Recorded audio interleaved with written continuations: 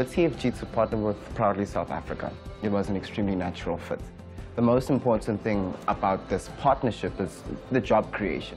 And it prompts the South African consumer to buy local, because local is lekker.